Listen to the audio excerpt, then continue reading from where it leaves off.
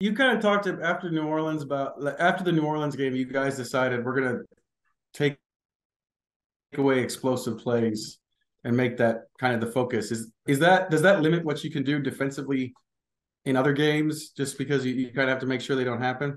No, I, I think um, you know we went into the game. Uh, obviously, every game you try to limit explosives.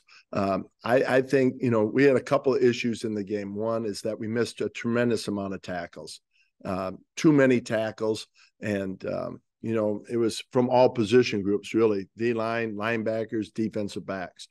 Now we went in probably with more in our package, more checks in our package than any week, and um, you know, they did some good things. They they did some tempo on us, and uh, at times we didn't execute some of the calls based on the tempo. Um, you know, there's some check with me's out there based on what they were, what they were in, and you know, you can put that part on me. You know, sometimes, hey, here it is a tempo situation. Let's just line up and play. We had a couple check with me's in tempo where we didn't play fast.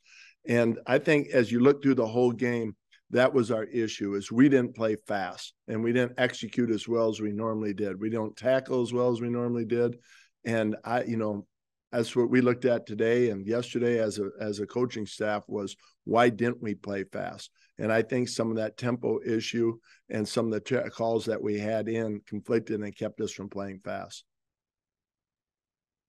james Gus, when uh Julian went down, obviously you all turned to Nick Cross. Um, what what did you think of the way Nick Cross performed, and maybe what gives you that that confidence in that moment? I guess, I guess compared to last year to throw him in there and and have him perform at the level that he did. Right. That's that's great, James. Last week we talked about, you know, there's a lot on Nick's plate.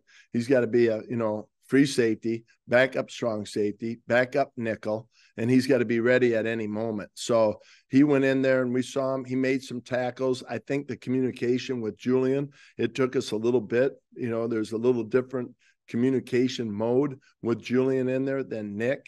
And uh, but I think as the game got on, the communication became better. And um, you know, he he made some plays. I think there were some times when back went to the flat and we got picked in there, and um, you know we didn't communicate that properly. So those things took place.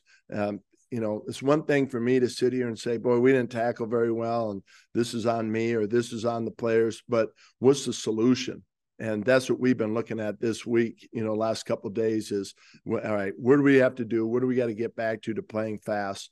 And uh, that's the solution. And that's what we're incorporating in the game plan now.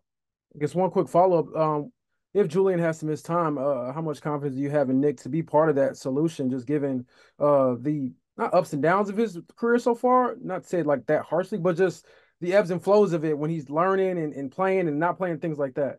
Well, I like his mindset. Uh, I don't know if I could have said that last year. You know, I don't know if there was complete trust with him out on the field, but now there is trust, and he's going to get his chance to show us. He's going to get a chance to show his teammates. So he's a better communicator at the free safety spot. Now he just has to transfer that to the strong safety spot. Raven?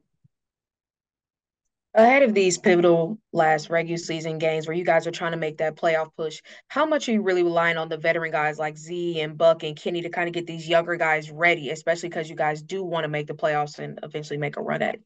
Right. I think the the reality is that we all know that we need to win these last couple of games here, you know, but at the same time when the veteran presence comes in, it still comes back to what we need to do.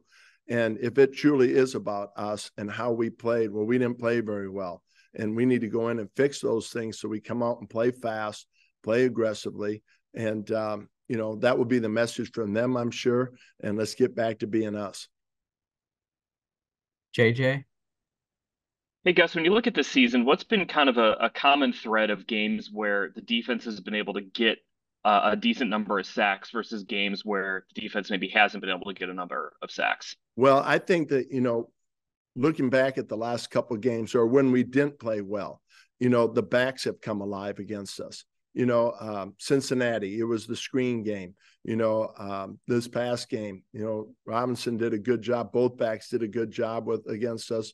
We gave up some explosive plays, whether it was, you know, them catching balls and, you know, on passes, uh, screen game or, you know, on some of the runs. So I think that's the common thread right now that we have to take care of is slowing down these running back type plays that uh, are getting yards against us.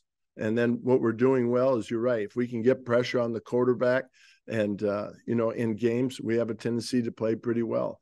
Uh, takeaways, uh, you know, plays that we normally make. We had three opportunities to get takeaways in that game where it was in our hands and could have made big plays and set up scores for our touchdown. If not, you know, Z's he could have scored on his. So we just didn't capture those opportunities, and we need to games going forward. Kevin. Yeah, sorry about that, Coach. Um, how would you evaluate what you've seen so far from Juju Brents since he got back in the lineup a few weeks ago? Um, you know, he's he's an aggressive corner. Um, likes to get his hands on you. Uh, both him and JJ. Uh, he's been tackling pretty well uh, up to this point, so we'll see if that continues. He's going to have some opportunities, especially in this game. So you know, he's still you know he hasn't as many game reps as a as a JJ. So you know, each game he's learning more and more in the style of receivers that he's facing, but at this young stage where he's at. Now we just continue to, you know, see him grow and really make big steps these last uh, games in the regular season. And then in a week where you guys don't tackle very well, how do you go about that in practice? Obviously, physicality this time of year is probably not something you do a whole lot of. You're right. And, you know, we preach that every rep is a tackling rep, even in walkthrough. And we've been walking through quite a bit. So it's got to be a, you know, another point of emphasis with the style of backs that we're going to see especially this week. And, um, you know, we got to take advantage of, even though it's a walkthrough, to really work on our angles and, uh, you know, our leverage principles and know where guys are going to be. George.